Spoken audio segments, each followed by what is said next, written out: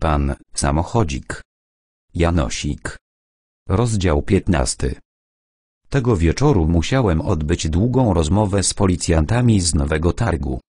Zwrócono mi uwagę, że miałem współpracować z policją.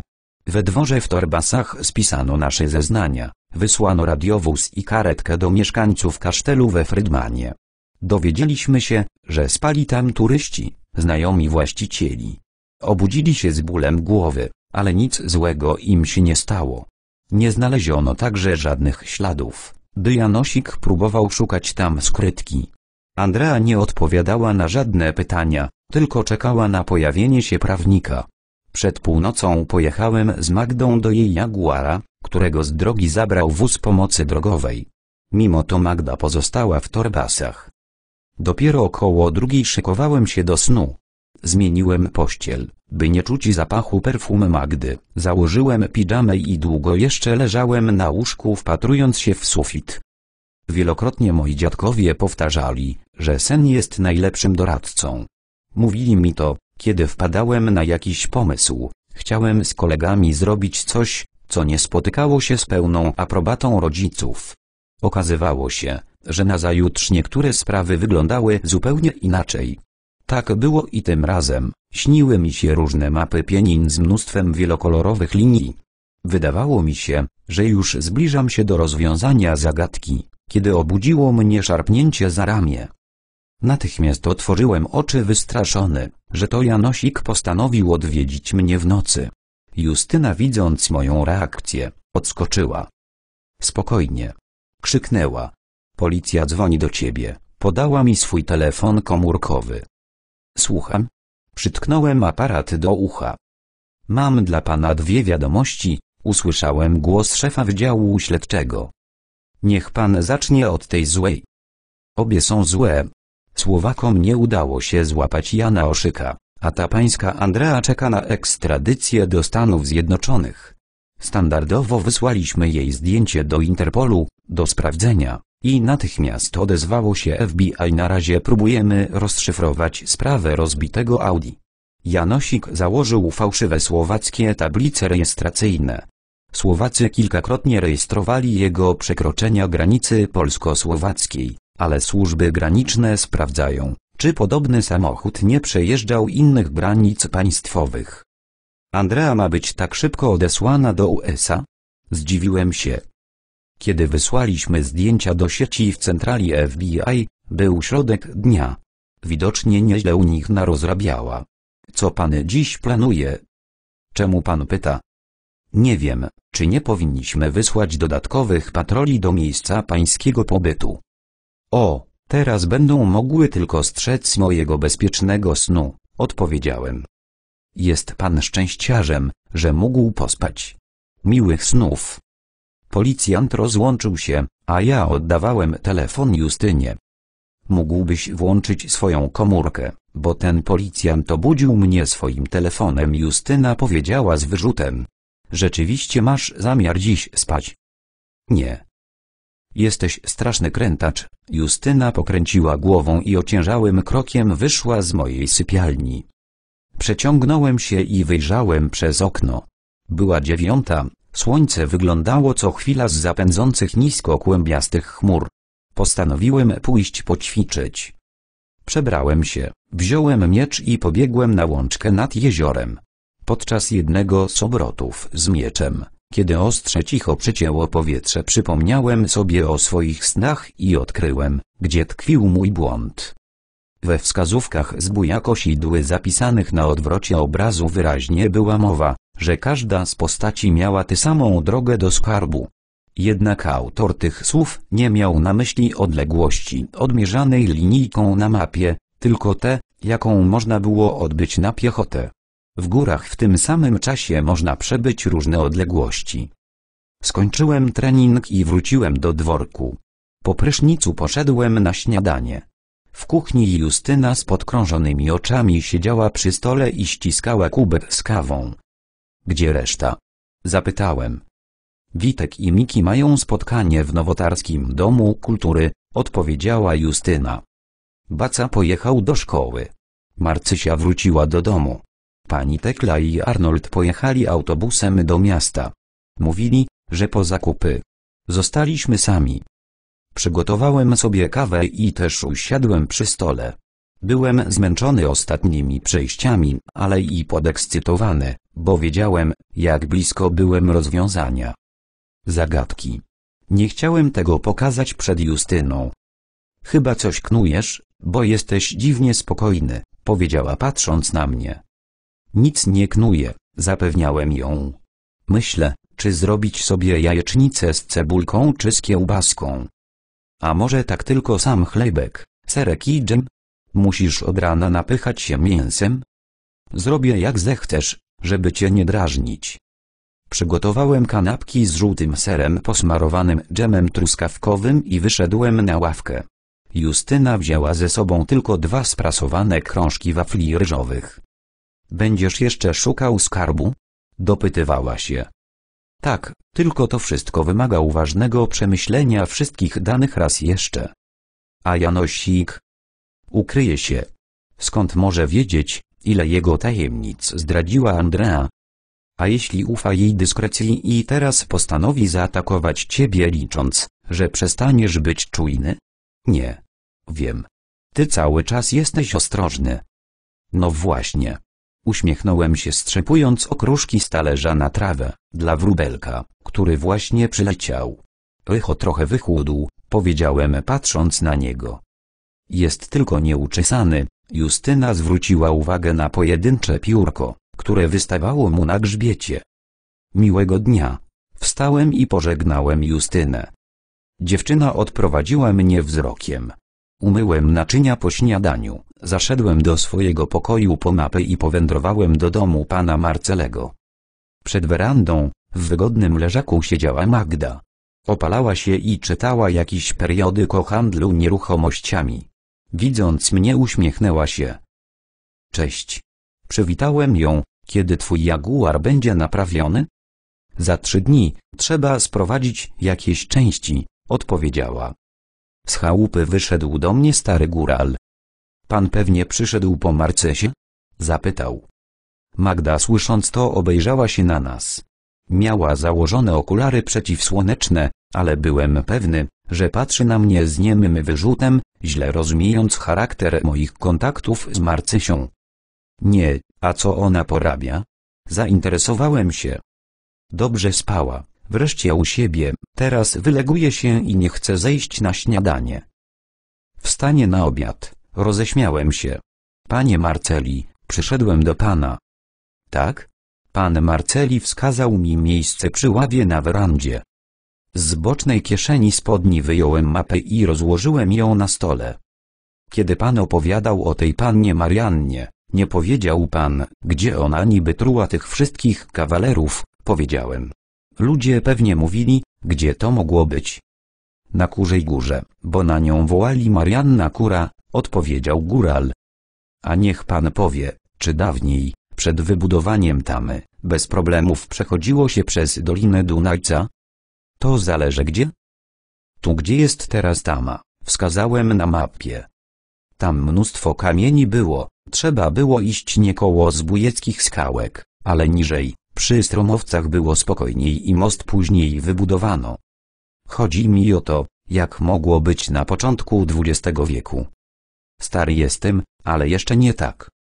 Panie Marceli, jakbym chciał zrobić takie małe zawody, żeby ludzie startowali z różnych miejsc, szli tyle samo czasu i spotkali się w tym samym miejscu. Aleś pan nakręcił, pan Marceli cmokał z dezaprobatą. Podejdźmy do sprawy inaczej. Z którego miejsca w tym samym czasie dojdzie się na Kurzą Górę i do zamku w Czorsztynie? A poprzednio wskazywał pan na zamek w Niedzicy. Niech mi pan odpowie na moje pytanie, prosiłem. Góral odchylił się nieco, zamknął oczy, jakby w myślach coś liczył. Gdzieś z pomiędzy Łysej Góry i Rapsztyna, odpowiedział po chwili. Szukałem tych punktów na mapie. Ale to duży obszar, zauważyłem. Bo to zależy czy idzie góral, czy cepr. Dobrze, westchnąłem powstrzymując się od śmiechu. A jakby jeszcze wyruszyli ludzie z Niedzicy, góry zamkowej i czerwonego klasztoru? To kawał drogi, ale więcej szliby po płaskim, wtedy spotkaliby się gdzieś w stromowcach lub kątach. Odszukałem te miejscowości na mapie i moją uwagę zwrócił napis drobnymi literami. Może gdzieś tu? Upewniałem się. A co tam jest? Pan Marceli z kieszeni koszuli wyjął okulary, ale nie zakładał ich, tylko przyłożył do oka jak lupę. Tak, może być, że tam by się spotkali. Odetchnąłem składając mapę. Chciało mi się śmiać, że rozwiązanie zagadki było tak proste i tak łatwo osiągalne. Teraz wystarczyło tylko pójść tam i zobaczyć, jak wygląda okolica. Dziękuję panu za pomoc. Uścisnąłem dłoń pana Marcelego. Do zobaczenia. Wróciłem do dworku i przygotowałem się do pieszej wycieczki. Nie chciałem jechać wehikułem, bo gdyby Janosik zobaczył go pozostawionego na parkingu w lesie i spojrzał na mapę, zaraz domyśliłby się, dokąd zmierzam. Spakowałem plecak i wykradłem się do parku przez jadalnię. Wychodząc za opłotki torbasów czułem się doskonale, jak zwykle, kiedy wpadałem na rozwiązanie zagadki. Najpierw przez łąki dotarłem do Czorsztyna. Ze wsi powędrowałem niebieskim szlakiem. Po godzinie byłem na przełęczy Osice, z której wijąca się jak wąż droga. Asfaltowa prowadziła na południe. Najpierw szedłem asfaltem ścinając wiraże zakrętów i maszerując leśnymi ścieżkami, aż dotarłem do duktu prowadzącego w interesującym mnie kierunku. Po stu metrach gdzieś daleko za mną pozostał zgieł kruchliwej szosy. Tu, pod zielonym baldachimem, wśród gór, czułem się najlepiej. Ta wędrówka na południe, pod górę, była męcząca, ale do przodu gnała mnie pasja odkrywcy. Miejsce, do którego zmierzałem, nazywało się Zamczysko, w pobliżu skał Mały i Duży Cisowiec. Zbliżała się czternasta, kiedy wreszcie mogłem stanąć nad krawędzią skał Zamczyska. Usiadłem na sporej półce skalnej i wyjąłem z plecaka wodę. Musiałem odszukać tucis i trzy klucze, bo tam znajdowała się ostatnia warownia kosidły. To rozumiałem jako jakąś jego jaskinię, bo co innego mogło być fortecą zbója? Czy ówcić ze wskazówek miał być drzewem, czy skałą? Rozglądałem się po lesie wokół mnie i patrzyłem na Dolinę Dunajca, leżącą prawie u mych stóp.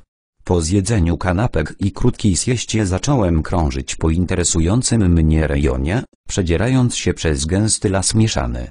Od południa zamykały go urwiska skalne. Między nimi był stromy żleb wychodzący wprost na wzniesienie przypominające kształtem duży kurhan. Wszędzie były tu niewielkie skałki.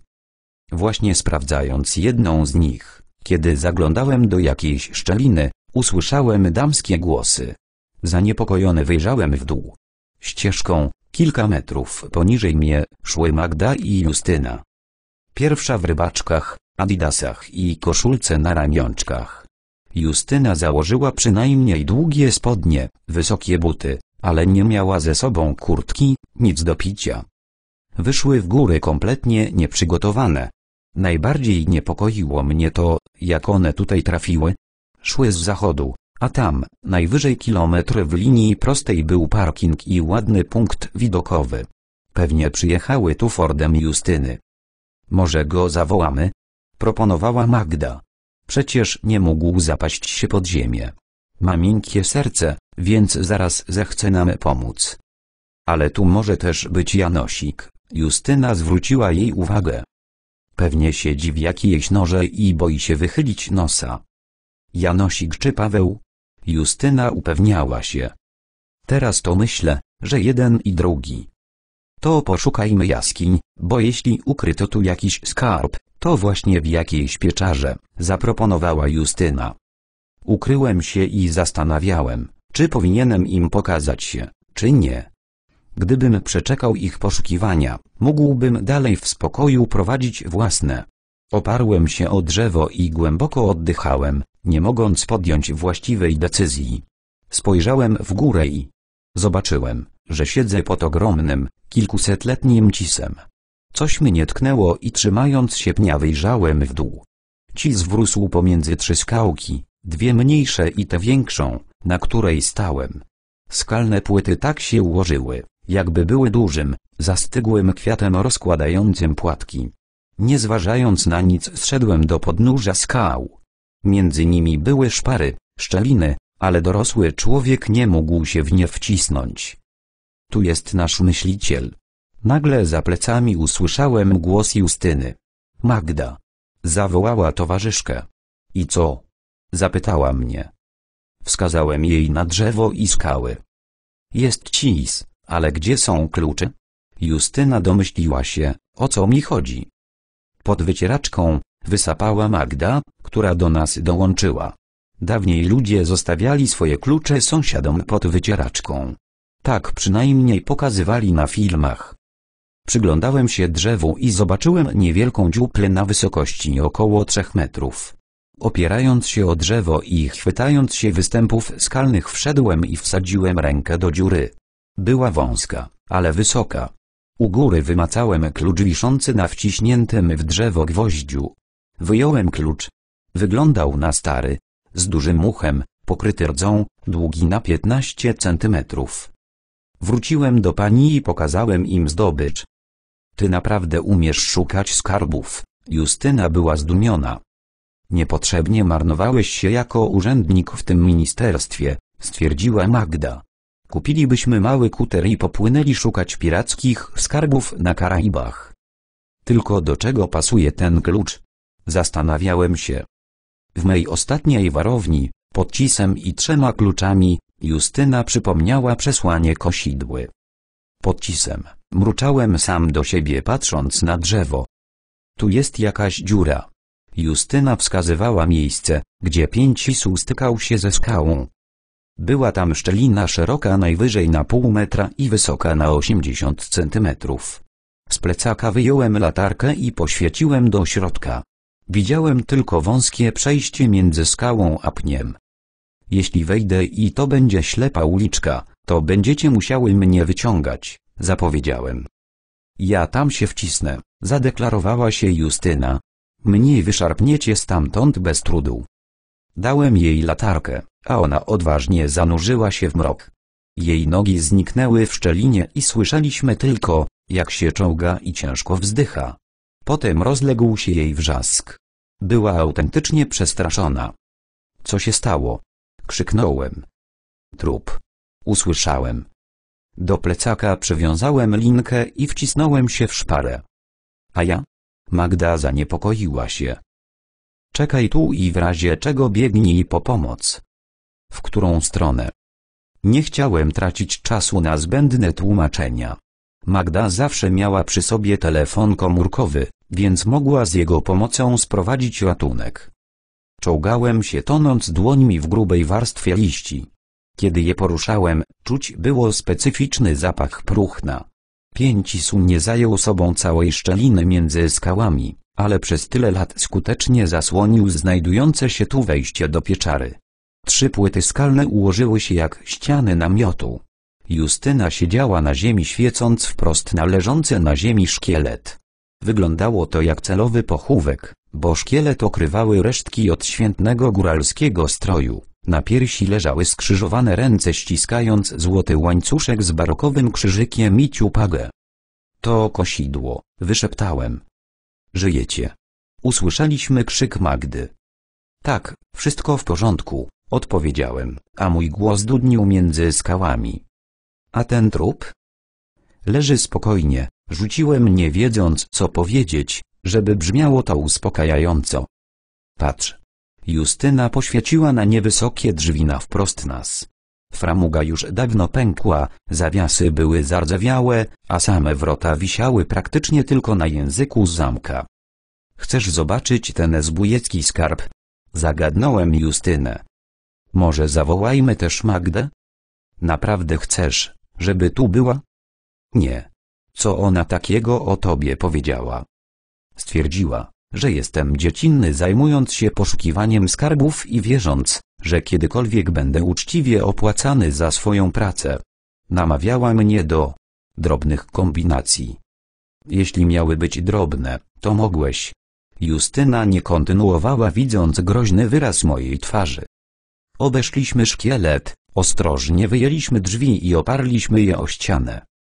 Poświeciliśmy głębiej i zobaczyliśmy wykutą w skale jaskini mającą około 10 metrów kwadratowych powierzchni. Pod ścianami stały skrzynie, oparte o nie były różne rodzaje broni, szable, krótkie miecze, wojskowe tasaki, muszkiety, fuzje, strzelby, na skrzynce leżały rewolwery. Mogliśmy wejść do środka, ale nie było mowy, żeby tu się wyprostować. Justyna odważyła się unieść wieko pierwszego kufra. W dwóch sakiewkach były srebrne monety średniowieczne z różnych rejonów ówczesnej Europy. Skarb świętej Kingi? Zgadywała Justyna. Tak, a te siedemnastowieczne floreny to wynagrodzenie Marianny, wskazałem na trzecią sakiewkę. Przecież jej diabeł zapłacił.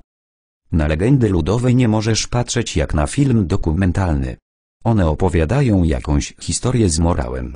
Myślę, że to złoto skąpego młynarza, którego obrabowali zbójnicy. Uniosłem pokrywę innej skrzyni. W środku leżały ubrania. Aż mnie zakręciło w nosie od smrodu. Obok stała baryłka, a w niej znaleźliśmy różne złote monety biżuterię, wszystko z XVII i XVIII wieku. Zauważyłem tam monety węgierskie, polskie i niemieckie. Czy był to skarb Janosika, czy depozyt kostki napierskiego? Nie potrafiłem wtedy na to odpowiedzieć. Magda idzie. Justyna usłyszała, jak ktoś się czołga do nas. Poświeć jej, poprosiłem towarzyszkę. Sam skupiłem całą uwagę na broni. Trochę mnie niepokoiła dziwna cisza panująca w jaskini. A więc on to wszystko jednak znalazł. Nagle odezwał się Janosik. Błyskawicznie obejrzałem się. Trzymał w dłoni pistolet i tradycyjnie był w kominiarce. Ja miałem latarkę i długi na pół metra sztylet, który właśnie oglądałem. Staliśmy pochyleni, dwa metry od siebie. Co zrobiłeś z dziewczynami? Zapytałem. Pozwoliłem im odejść. Nie miały telefonów, a zanim dojdą do drogi, my się już rozstaniemy. Janosik zrzucił spleśniałą skórę ze stojącej na lewo od wejścia skrzynki. W środku. Zobaczyłem stare księgi. Część biblioteki z czerwonego klasztoru, domyśliłem się. To ci zostawię, Janosik roześmiał się. Niczego stąd nie weźmiesz, zapowiedziałem. Mylisz się, wycelował we mnie pistolet. Od jakiegoś czasu dyskretnie ważyłem w dłoni trzymany sztylet i teraz wiedziałem, jak go rzucić, by osiągnąć pożądany efekt. Wystarczył szybki ruch ręką i broń wirując poleciała w kierunku przeciwnika. Rękojeść sztyletu uderzyła go w palce zaciśnięte na pistolecie z taką siłą, że ten spadł na ziemię. Szybko podniosłem go i natychmiast zorientowałem się, że to broń gazowa. Od tego gazu padlibyśmy tu obaj, stwierdziłem. Dotąd dobrze to działało. Janosik roześmiał się. Porozmawiamy? Możemy, czujnie przyglądałem się Janosikowi spodziewając się jakiegoś podstępu. On spojrzał na zegarek i zrzucił z głowy kominiarkę. Za pół godziny odejdę albo spróbujesz mnie zatrzymać, powiedział. Pierwszy raz mogłem spojrzeć prosto w twarz Janosika. Bardzo przypominał tego młodzieńca ze zdjęcia, które pokazywali mi słowaccy policjanci. Nie widać po nim było upływu lat i tych wszystkich wydarzeń, które dane mu było przeżyć. Zakończenie. Janosik usiadł wprost na ziemi. Jestem pełen podziwu dla ciebie, powiedział. Trzeba było niezłego uporu, żeby tu dotrzeć. Ty też dużo ryzykujesz, tylko nie wiem czemu. Dopytywałem się. Chodzi ci tylko o odnalezienie skarbu ukrytego przez przodka? To sprawa. Chwilę milczał, honoru. Wiesz, jakie to uczucie być takim kimś jak ja? Lęk przed wpadką i samotność, bo nikomu nie możesz zaufać. Każdy na ulicy może być agentem organizacji, która chce cię zatrzymać, domyślałem się. Tak, Janosik pokiwał głową. Kiedyś babcia opowiadała mi o zbóju kosidle. To była taka rodzinna legenda. Ludzie mówili, że on już nie zbujował, tylko po górach chodził i pod każdy kamień zaglądał. Traktowali go jak świra. A on wiedział, że te skarby istniały. Trzeba było tylko je odszukać. Babcia wiele razy mi mówiła, że czasami trzeba umieć słuchać sercem, a stary kosidło to umiał. Jak to się stało, że zacząłeś szukać tego skarbu? Od zawsze pamiętałem te bajania o złocie. Ty wiesz, czym się zajmowałem? Tak, rozmawiałem ze słowackimi policjantami. Nie znają nawet połowy tego, co powinni. Postanowiłem wreszcie zaszyć się gdzieś na końcu świata. Sandreą? Wtrąciłem pytanie. Tak. Stanąłem wam na drodze? Niby tak, Janosik skrzywił się. Ona traktowała te poszukiwania jak kolejne zadanie i wcale nie miała zamiaru wycofać się z branży. Po tej akcji i tak byśmy się rozstali. Oczywiście teraz nie zostawię jej w więzieniu. Wynajmę jej najlepszego adwokata. Sam też będziesz go potrzebował, wtrąciłem. Stać mnie na to. Zrozum, mnie wcale nie chodziło o to złoto. A o co? Gdzieś tu, w blaszanym pudełku jest mała książeczka. Modlitewnik i notatnik wszyte w jedną okładkę. Mogę poszukać? Proszę. Wstałem i czujnie obserwowałem Janosika. On grzebał w kufrze z ubraniami. Wyjął płaskie, prostokątne pudełko od przyborów do szycia, z obrazkiem chratczan na wieczku. Jak to się stało, że dowiedziałeś się o obrazie? Kiedyś pewien sąsiad mojej rodziny opowiadał, że zatrzymał się w gospodzie nad Dunajcem, gdzie na ścianie wisiał obraz z namalowanym zamkiem w Czorsztynie. Karczmarz, stary Żyd, mówił, że tam jest namalowane kosidło. Wiedziałem więc, że muszę poszukać obrazu i karczmy. Najpierw byłem w Lwowie, żeby go zobaczyć w tamtejszym muzeum. Zobaczyłem jakieś postaci, ale było to bardzo niewyraźne. Z opowieści rodzinnych wiedziałem, że tam oprócz kosidły byli przedstawieni jeszcze inni ludzie. Coś się tu nie zgadzało, więc zacząłem szukać karczmy. Tak rok temu dotarłem w te okolice. Dowiedziałem się, że właścicielka dworku ma ten obraz, na którym mi zależało. Chciałem go odkupić, lecz pani Leokadia była nieubłagana. Wtedy wytypowałem Justynię jako potencjalną wspólniczkę. Teraz wy macie złoto, obraz i pieniądze. Starałem się nikogo nie skrzywdzić i chyba mi się to udało? Tak, przyznałem. Janosik włożył książeczkę do wewnętrznej kieszeni bluzy. Mogę? Zapytał wskazując na wyjście. Poczekaj, wyjdziemy razem. Nie kusicie, żeby coś sobie uszczknąć. Nie, uśmiechnąłem się. Słusznie. Janosik zatrzymał się nad ciałem przodka.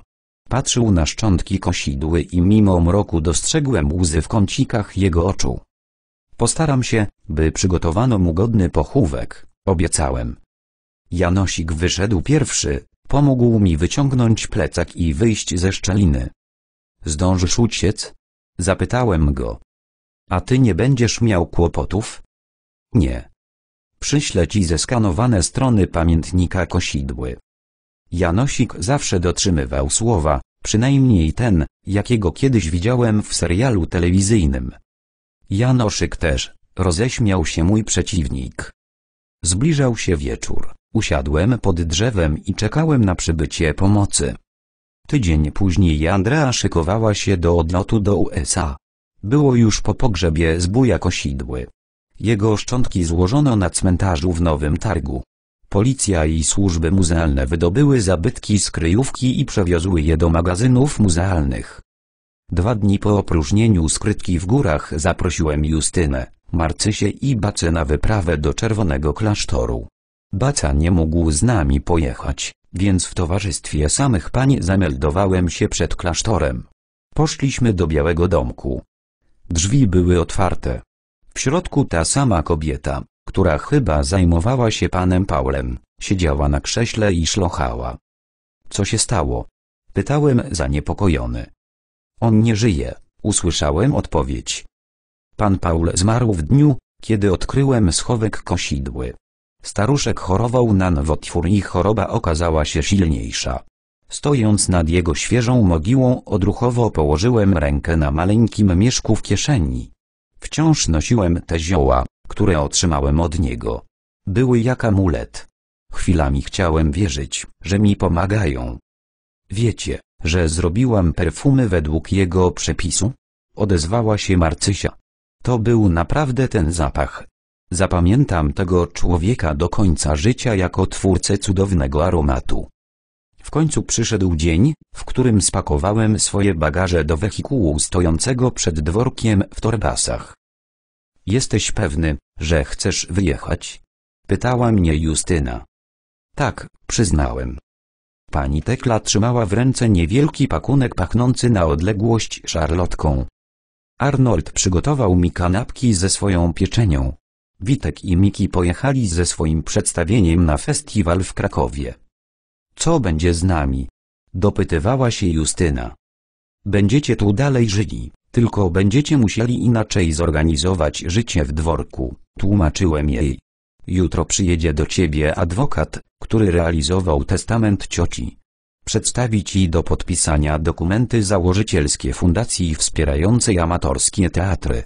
Mój wkład to dwór i park, twój to zawartość twojego konta.